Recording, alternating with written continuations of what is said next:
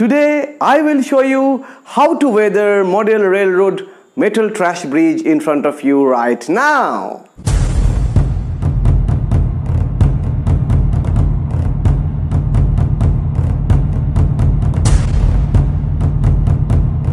Hello and welcome to your channel HO Universe and Dioramas. I am Ashim and you are watching My Model Railroad. Friends, hope you are all doing well.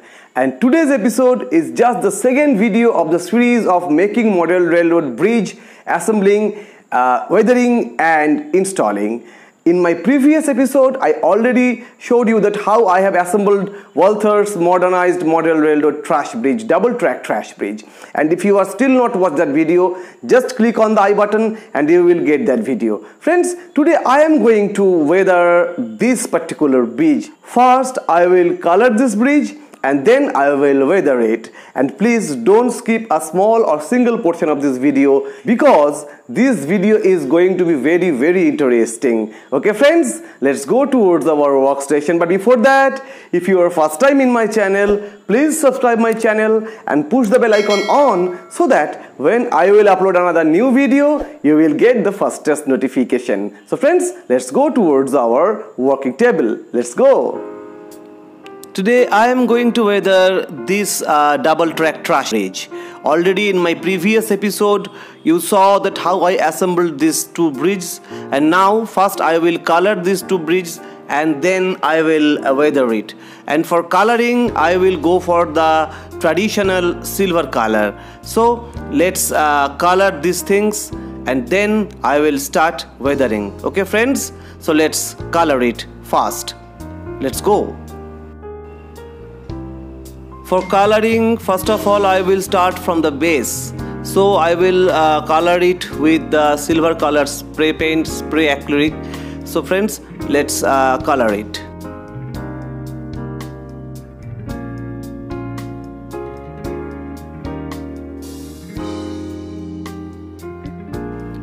And after half an hour, uh, the color of the lower portion is dried and now I will go for the top sides are already a little bit colored due to the side spray but now I will color the both sides and the top. It's not tough job uh, just uh, we should careful that the all parts all the portion and all the corners should be colored thoroughly. That's all. Okay friends I think it's more or less finished and now you can see that after drying the entire bridge sector is looking very nice like uh, some uh, metal bridge. The color is very smooth and now I will go for the weathering. And for weathering I will use the brown or the rust pigments. I have made it by myself. And if you want to know that how I made this rust pigments just click on the I button and you will get the link that how I made this uh, rust pigments. Okay friends now what I will do I will just apply this rust pigments throughout the rivet sectors of the bridge or the girder sector of the truss bridge. Just watch carefully that I am simply applying the pigments throughout the rivet sectors for weathering you just need a little bit patience and you should have an idea that particular which regions of the bridge you want some rust. So literally it's not very tough. It's it's just you need some sense you need some idea to create the rust of the uh, bridge. And now uh, you can see that how I am applying this rust and after application of this rust I will just use my fingers and just smudge this rust like this like this.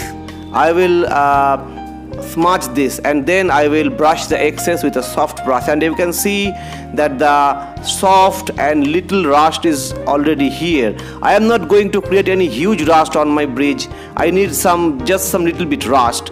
And so let me do the entire thing and after rust job you can see that the entire bridge sector is looks little bit pretty little bit cool. Because I don't want heavy rust. I've already spoke to you. I just want some rust patches throughout the entire bridge. It's not a very old bridge so I don't need a huge amount of rust. But the rust tone is looking very nice throughout the entire girder and all the other areas like decks and etc okay friends now it is time for the next thing. Now I need some dust and dirt. And for dust and dirt I again will use a black pigment. And this time I will use it uh, randomly just at the bottom and all the deck portion all the girders and all the other areas that, that means the diagonals and all the extensions I should cover with a little bit black pigment not a very big amount just little bit of this thing will do my job. Okay friends let's have a look have a good look that how I am uh, creating this dust and dirt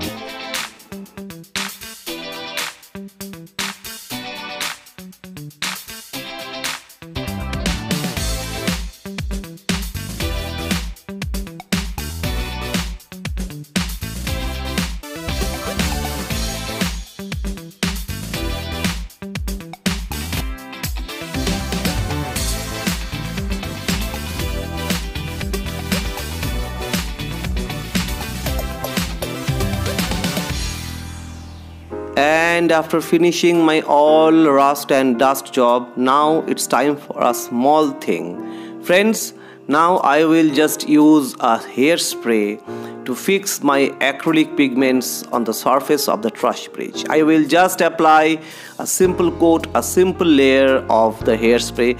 It will fix the pigments at its site and I always like to use this type of fixatives. It's not uh, costly and it is useful. So I'm using this thing. Friends it is the final job for the weathering of my rust bridge. And this is the final look of my Walther's Cornerstone modernized double track truss bridge weathered and colored. It looks very nice and I think it's realistic what do you think please comment me on the comment section and friends in my coming episode I will show you that how I will make the bridge tracks for my truss bridges. I need to make it. And now just have a look how my bridge is looking like.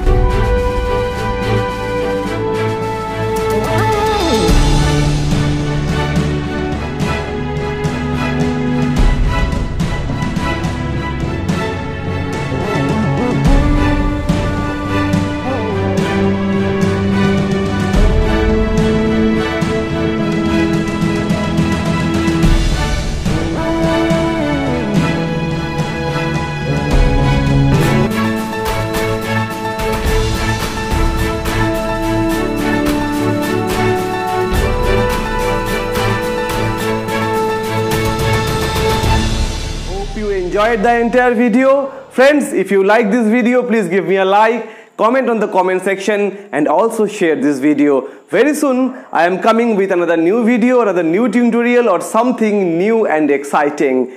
Until then, you can watch my this video or this video or this video. Okay friends, I think enough for today. Very soon, I am coming. Bye-bye.